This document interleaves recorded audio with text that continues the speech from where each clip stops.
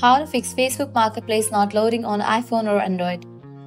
Whether stock slow or not showing listings, the issue can be frustrating when you are trying to buy or sell item. In this guide, I'll walk you through the steps to fix Facebook Marketplace not loading on both iPhone and Android. Let's dive in. First up, check your internet connection. For that, launch your settings, navigate to the option of Wi-Fi, click on the Wi-Fi network you are connected to, forgot this network, give a restart to your router and rezone it. Likewise, switch between networks. If you are using Wi-Fi, switch it to cellular data, and in the case you are using cellular data, switch it to Wi-Fi. Next, make sure your Facebook app is up to date. Go to the App Store or Google Play Store, search for the app Facebook.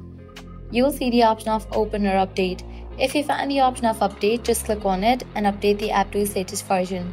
Updates often include bug fixes that solve loading issues. Lastly, what you can do is contact Facebook support team. For that, Launch your Facebook, make sure you have already logged into your account. Navigate to the menu page, click on the profile icon given at the bottom right corner. Once you're on the menu page, now scroll down, get towards the option of help and support. Navigate to the option of report a problem. Click on continue to report. Click on don't include. Now from here, select the feature marketplace. Now over here you have to explain about the issue that marketplace is not loading in your Facebook account and then you can send it.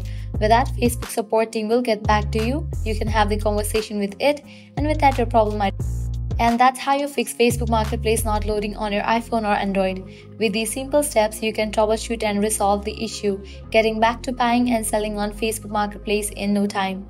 If you found this guide helpful, don't forget to like, share, and subscribe to our channel. Thanks for watching.